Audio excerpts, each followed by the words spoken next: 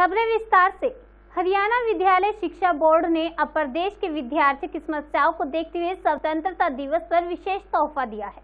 अब दुनिया के किसी भी कोने में बैठकर विद्यार्थी बोर्ड से अपनी उत्तर पुस्तिका की फोटोकॉपी माइग्रेशन सर्टिफिकेट व डुप्लीकेट सर्टिफिकेट ले सकेगा। उसके लिए बस प्रार्थी को सरल पोर्टल पर जाकर फार्म डाउनलोड करना है तथा भरकर उसे बोर्ड की सरल साइट पर ही अपलोड करना होगा। फ़ीस भी ऑनलाइन ही जमा करवानी होगी। ऐसा करने के एक सप्ताह के अंदर ही बोर्ड कार्यालय पार्थी के घर पर उसका मांगा हुआ सर्टिफिकेट घर भेज देगा। हरियाणा विद्यालय शिक्षा बोर्ड ने छात्रों के हितों को देखते हुए आज सरल पोर्टल को प्रदेश भर में लागू कर दिया। इस पोर्टल की मदद से अब छात्र हरियाणा या फिर देश के किसी भी कोने में बैठकर अपना आवेदन कर सकता है। के लिए हरियाणा सरकार ने जो सरल पोर्टल शुरू किया है बोर्ड ने उसको एक्सेप्ट करते हुए अपने हाथ से लागू कर दिया है।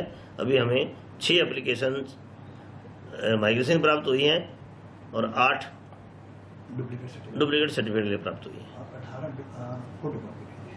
और अठारह उत्तर पुस्तिका की फोटोकॉपी के लिए हुई है। और बोर्ड जल्दी एक हेल्पलाइन नंबर करेगा।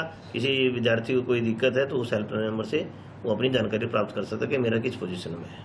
सर जो फ़ीस थी। फ़ीस तत्काल लेने की दो हज़ार फ़ीस थी उसको हमने घटा करके आठ सौ रुपये कर दिया है। जो और सर जिस प्रकार से जो माइग्रेशन की है। और डुप्लीकेट सर्टिफिकेट की छः सौ रुपये फ़ीस दे करके वो सरल पोर्टल से ले सकता है। उसको आठ सौ नहीं देने पड़ेंगे उसे छः सौ देने पड़ेंगे। और माइग्रेशन की और सर जो अन्य जो आपने बताया कि सरल पोर्टल पे जो जो सुविधाएँ मिलेंगी फीसें सर वही है या कुछ चेंजिंग नहीं फ़ीस में इसमें सरल पोर्टल के कारण फ़ीस में कोई चेंज नहीं है। बोर्ड ने अपने नियम नीति के अनुसार कोई चेंज किया तो बात अलग है। लेकिन सरल पोर्टल के नाम की हमने बोर्ड कोई फ़ीस नहीं लेगा।